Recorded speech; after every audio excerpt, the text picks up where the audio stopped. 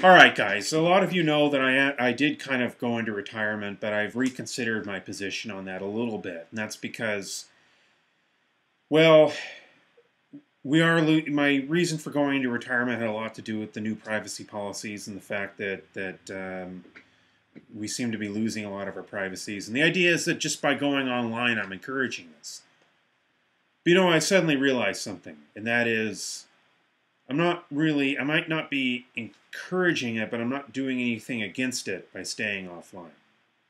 So my philosophy now is if I'm going to be tracked, whatever time I have left for the First Amendment for freedom of speech, while we still have something akin to constitutional government, which, by the way, is fast fading into a corporatocracy, fast fading into a police state. Whatever time we have left, I'm going to make use of it. So this is an open letter to the New York Times. Um, it's I'm not going to write a letter to the editor because a letter to the editor is essentially well, what is a letter to the editor? It's you know they can publish it, they cannot publish it. It's kind of like you're a rebellious, angry child writing back to the big authority up there in New York uh, with um, all kinds of you know some editor who spends his time at the Council on Foreign Relations and not interacting with ordinary people. Okay, it spends his time with with businessmen and, and establishment intellectuals. And won't respect some little guy out here who just has an opinion. Um, and that's not the way I roll. So I'm going to take this to the people's media. And it still is the people's media. I know that YouTube has instituted a lot of changes, but I have to give them credit. Google, I have to give Google some credit for informing people if state entities are spying on them.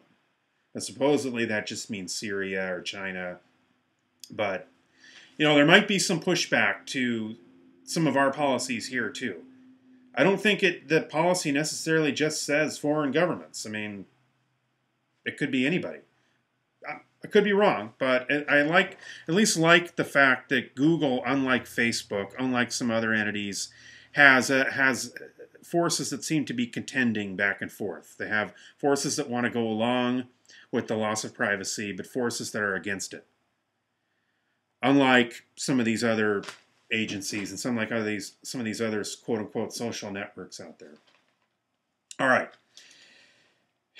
This is a comment on the article from um, the New York Times op-ed Wednesday, June 6, 2012. It's on page A23 entitled Evolution Sweet Tooth by Professor Daniel E. Lieberman. He's an evolutionary biologist at Harvard. And, you know, he's just a little bit proud of himself for being an evolutionary biologist at Harvard. I just think he has a, you know, a little bit, little bit uh, kind to himself, a little bit, and not so kind to others. But uh, that's my opinion. He wants to defend Herr Bloomberg's uh, autocratic rule of New York, particularly in the issue of big sodas, okay? And he states that measures like the ban on big sodas restore what was once natural. Now, we'll get into that, okay? Mayor Bloomberg has gone along. Basically, Mayor Bloomberg has bought himself a third term. He's established himself as a dictator. And he has gone along with every kind of national security justification for the loss of, uh, of civil rights stop and frisk, the drones, the cameras, the um, uh, uh, all that Mayor Bloomberg has to say is the terrorists are coming to get you, and it seems like New Yorkers are just willing to to go along with it. Okay, I don't understand what's wrong with New York. I thought they were a bastion of of free expression and freedom, and they were at one time. I don't know what's happened to them.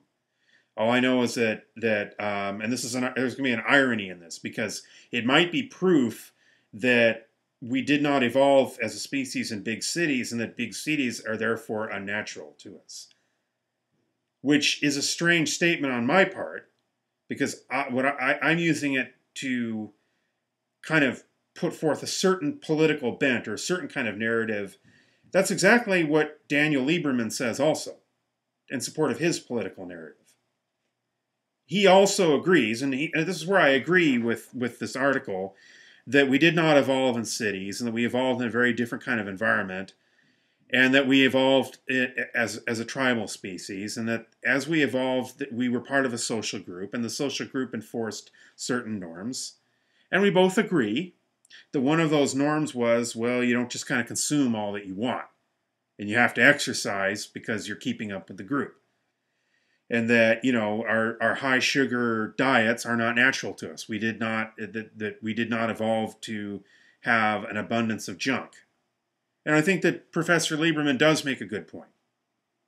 He makes and this is where it's ironic because he his his his jumping off point is one where he and I would both agree, and that is that we're not we're not adapted to being cut off from nature. We're not adapted to being cut off from our own past. Okay. And he also maybe makes a good point that, uh, quote, along these lines, we should ban all unhealthy food in schools, soda, pizza, french fries, and insist that schools provide adequate daily physical education, which many fail to do. There's a lot of good points in this article. Okay, and he makes a point that a certain degree of, quote unquote, coercion is part of human society. I think even the anarchists are going to have to acknowledge that one at some point. We don't live in a never never land. We don't live in utopia. Utopia means no place. I mean, I think the second law of thermodynamics would have some say in whether uh, their the anarchist utopia is possible or not. No offense, I have a lot of anarchists who like this channel, so you know I can feel the tomatoes coming at me. But here's the situation, guys. This is where he goes very, very wrong. When we were in the uh, Paleolithic, before the Neolithic, before the Holocene, we did not have dictators controlling us. We were hunter gatherers, for the most part. I think there might have been some variation in that. But the general rule of society was that the coercion was egalitarian in nature. The type of coercion that comes from one man who buys himself a third term and who is able to impose his fiat, even if it's a good idea. Big sodas are bad, bad, bad. They are bad for you. I do not condone big sodas, and I'm not even sure necessarily that there should be the quote unquote freedom to for the marketplace to sell those. I mean, that, that's that's not what I'm saying.